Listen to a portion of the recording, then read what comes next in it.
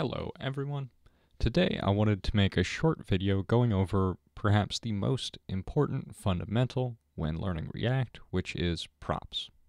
Props in React are how we get data around our application. It's something that I think many new programmers struggle with greatly just because of the unfamiliar and sometimes confusing syntax. So let's dive in. What is a prop? Well, an important part of React is JSX. And this is this HTML-like syntax that we see here with our div. The goal of JSX is to allow us as web developers to use a familiar HTML-like syntax when creating our custom and reactive components. So it looks a lot like HTML. If I come over to my inspector, we take a look at actual HTML, we see some similarities, right? We both have divs, and they both have this key value pair here. This name equals some value. In HTML, we call this div an element, and we call this key value pair an attribute. ID is the name of our attribute, and root is its value. You might be familiar with some other attributes like class, href, source. In React, we have slightly different names for these things. This name right here is a component, and the key value pairs that it has are called props. This is an individual prop. Note that we say class name here instead of class because class is a reserved keyword in JavaScript. So that's what a prop is, is it's an attribute.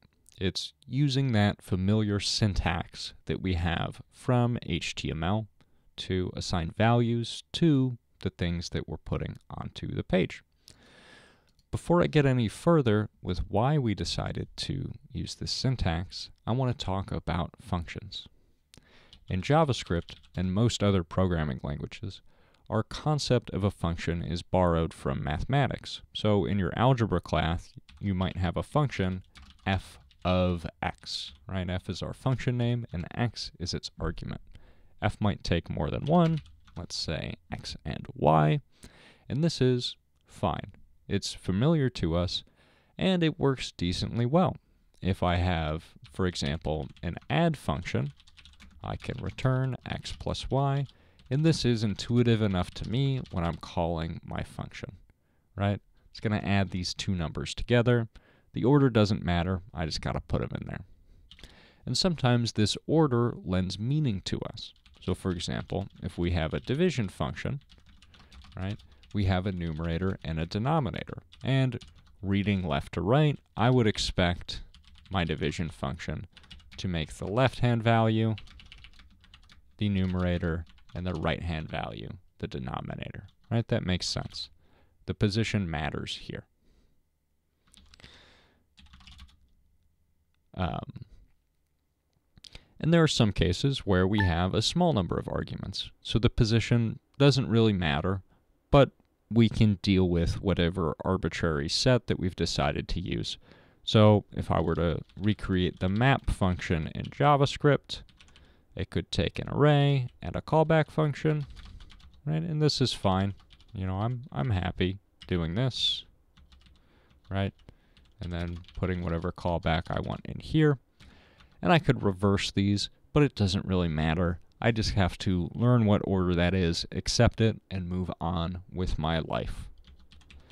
However, this paradigm starts to break down when we have a lot of arguments. So let's imagine a function that processes some information about a person. Right?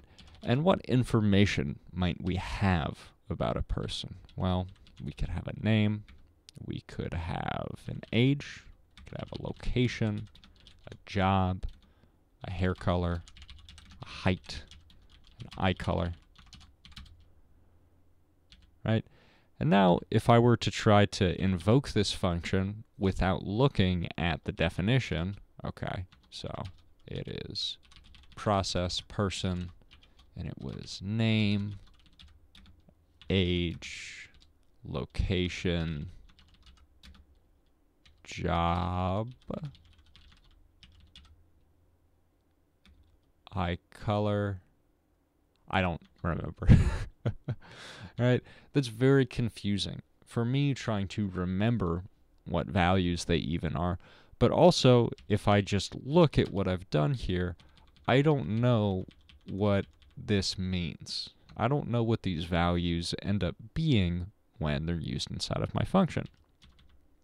So the the virtue of them being in some order for them having posi position does not matter. And in fact, that might make some things difficult.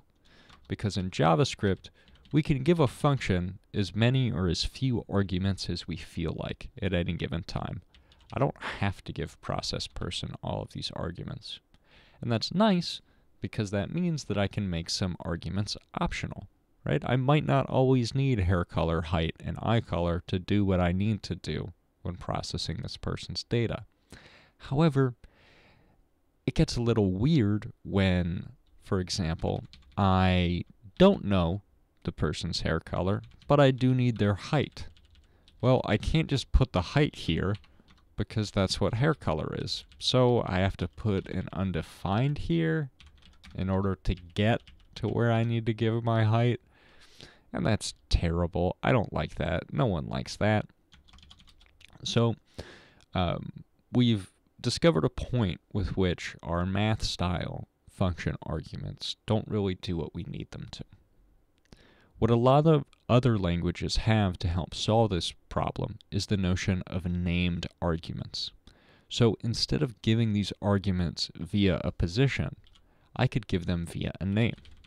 So I could say process person name is equal to Henry, age is equal to 26, job is equal to whatever I want.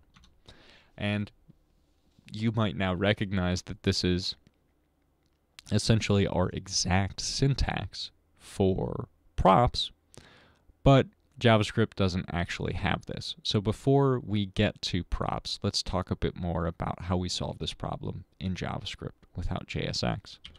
Well, we don't have this style of named arguments, but what we do have is objects. What I can do is instead of declaring all of these individual arguments that I want to give, so I can say, you know what? Process person is going to accept an object called person. And now I, as the caller, excuse me, now I, as the caller of this function, can give named values to this object because I can simply open up a set of curly braces and make a new object literal where name can be Henry. And you know what? Age can come before this, right? Because the order doesn't matter in my object. Right, now this has become very easy. And inside of my function, I can still access all of this data. You know, I can do person.age, person.name, whatever I need to do. It's all still there. But now I have the virtue of the names of my values mattering. The names of my argument matter, not their position, right? But we've lost an important thing here, which is documentation. When we have this version of process person, it's very easy to know what pieces of data this function expects, right? Name, age, location, job, hair color, height, eye color. Here, I just know it needs a person. What is a person? Well, I would have to scour the body of this function to see where I used person.age or person.name. And that's not very nice to me as a developer. So instead, what we can do is we can make use of a very powerful feature in JavaScript called destructuring.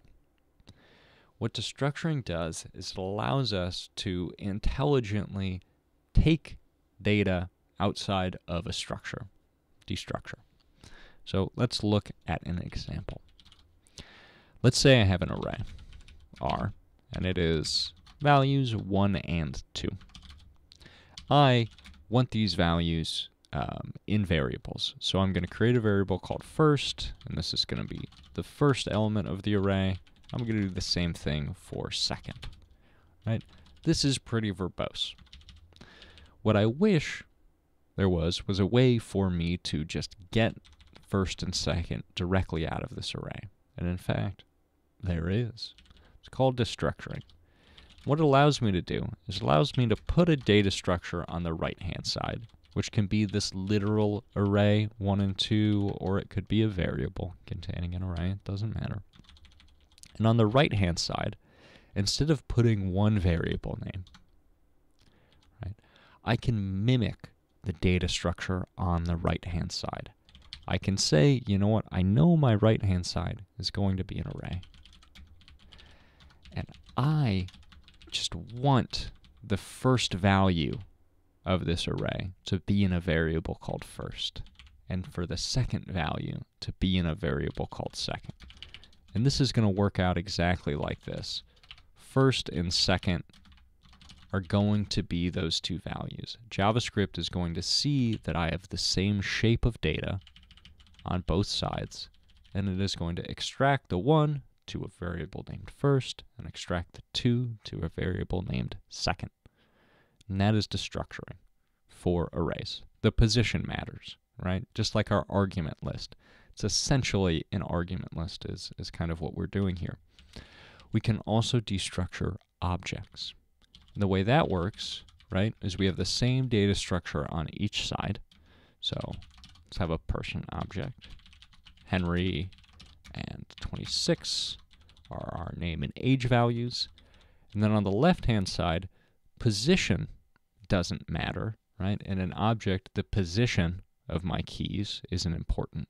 It's their names that are important. So if I wanted to get name and age into some variables, I would on this left-hand side, in a set of curly braces, right? Same data structure on both sides. I would say I want the name value to be in a variable called name, and I want the age value to be in a variable called age. And this would have name as Henry and age as 26. So that's how we destructure an object. Position isn't important, the name is. Whenever I name my variable here, JavaScript is going to look inside of the object on the right-hand side for the key with the same name. So I could easily switch these up, do it like this. Everything is still going to work just fine. Age will be 26, name will be Henry. So how is this of use to us? Well, one, it can save on writing person dot whatever a whole bunch of times. And two, now I can on the first line of this function destructure my person object and get name, age, job, hair color, location, eye color, height, whatever. Right? And now we have much better documentation for what this person object actually is and what this function requires. In fact, JavaScript is so kind to us that we can do destructuring directly inside of the argument list. So I can do it on line one here, or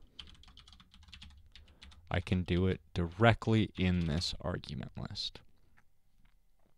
Right? It's going to do the same thing. It's going to take the argument, right, which is implicitly called person. It doesn't really matter what its name is because I'm just going to extract the values that I need directly into these named variables. And look, we've essentially got the same syntax here, but we've gone from this very horrible, bad way of calling our function, where nothing makes sense, to having this very nice, well-named way of calling our function. Now, some people believe in always writing their functions in this style, and I will admit it has a number of benefits.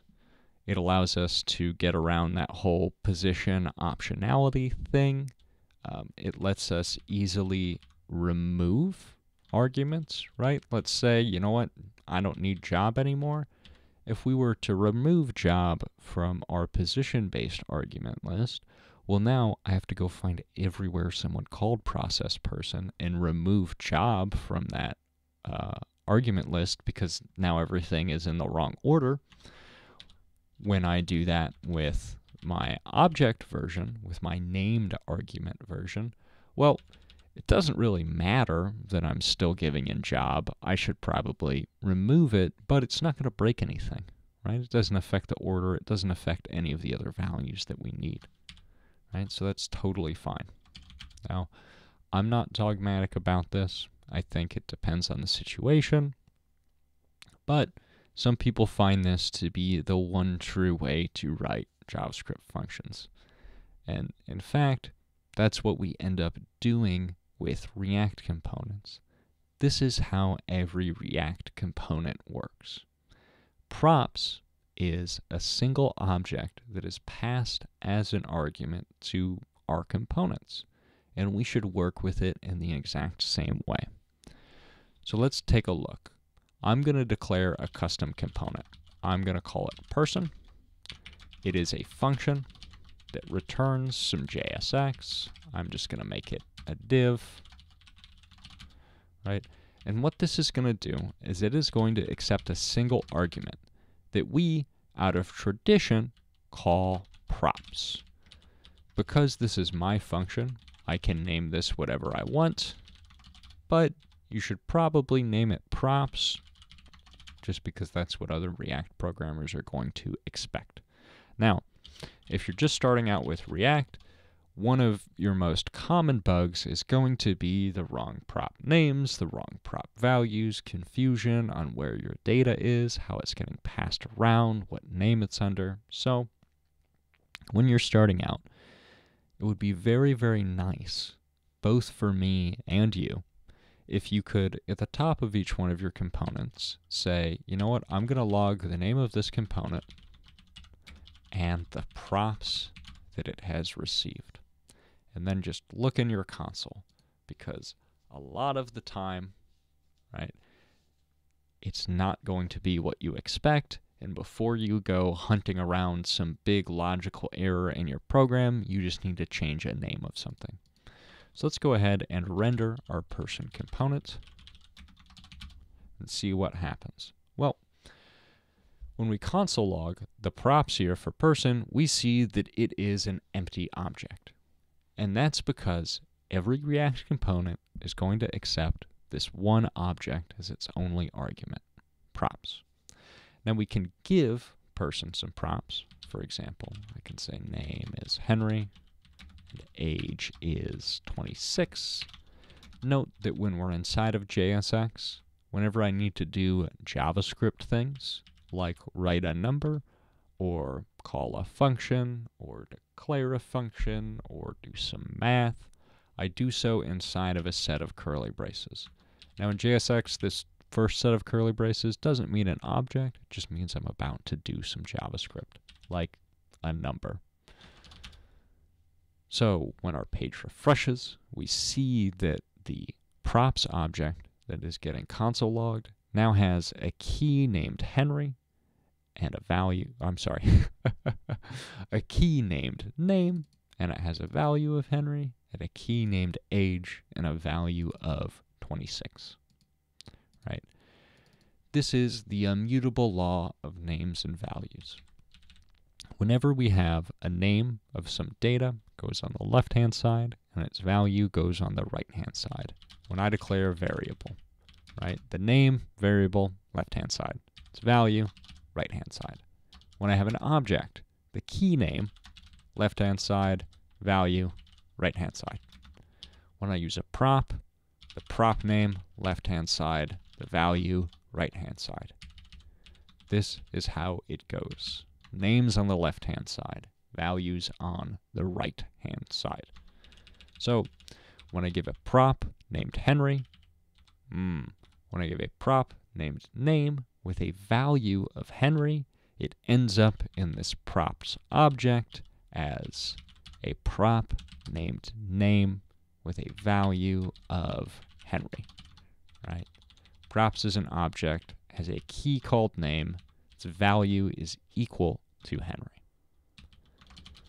So that's how we use props. We can render them by saying our person has a name and it is going to be the value props.name, right? Whenever I'm doing JavaScript inside my JSX, I need my curly braces, and I'm just going to access the value of the key name of the props object. And let's get our age in here too. Props.age. And that works. That works perfectly. However, we've run into some problems that we encountered when talking about functions of this style, which is what are props? What props does person need? Well, I don't know. And you're going to see in your React career, you're going to see components that don't fit on a single screen in your React application, right?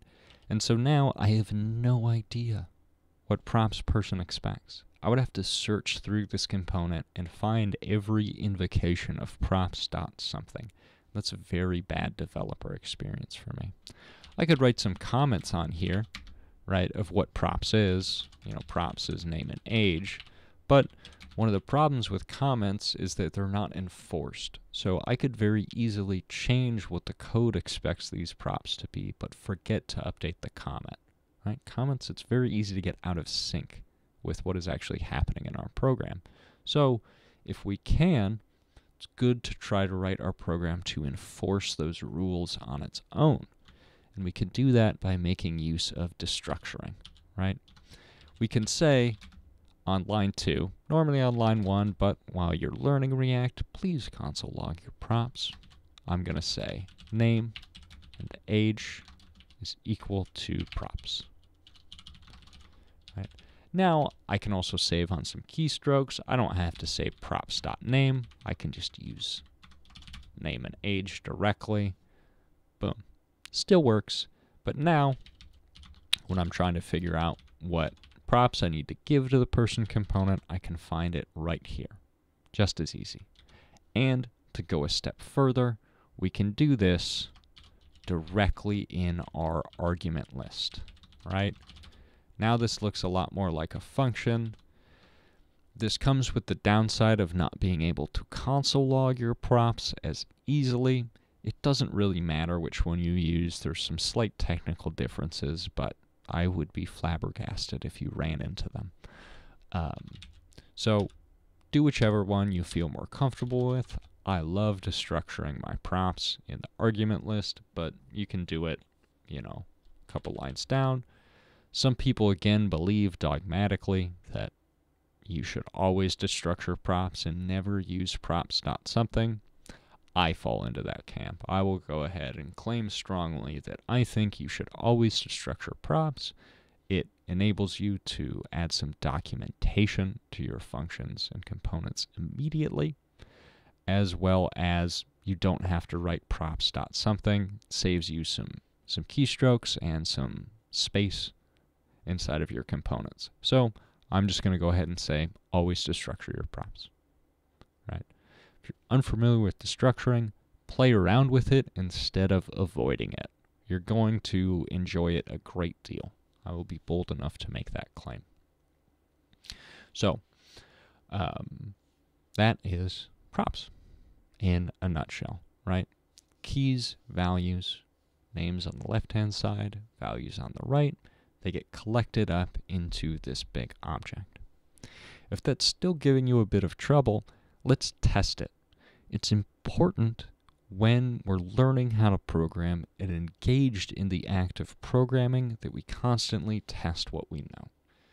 It may be the most fundamental skill we can have because whenever you're debugging your program because something went wrong, it means that something that you thought you knew about the state of your program is incorrect.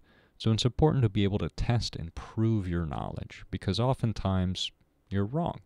And going through that test is going to help you figure out how you're wrong.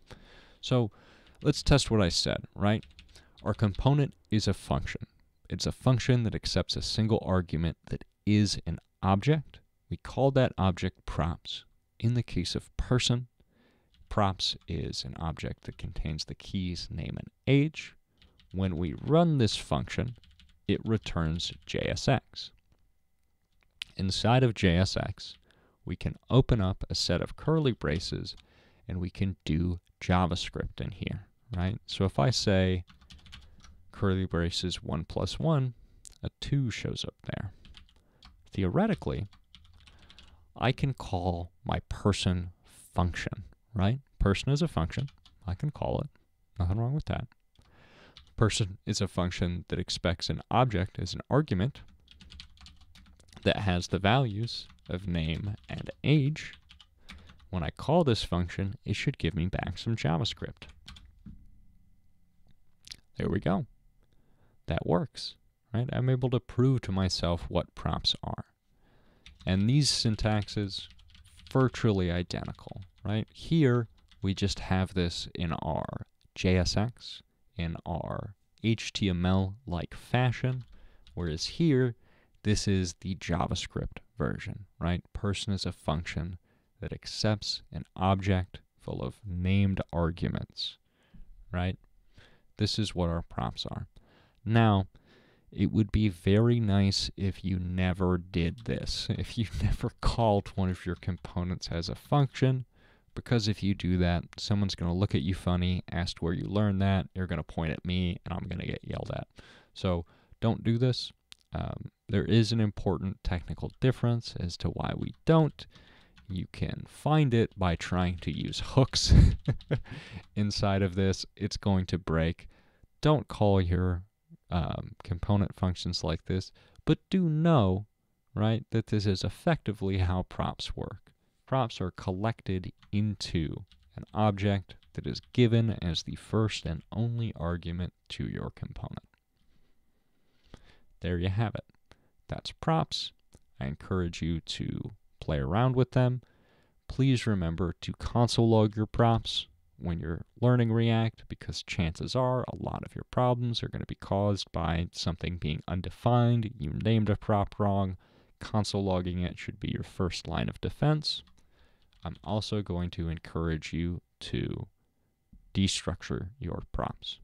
I think it's great. There are other people who agree with me, so you don't have to take me at my word. It's going to let you write less code. It's going to write let you write better documented code. So Thank you for watching this video. Let me know if you have any more questions about props, and I'll see you later.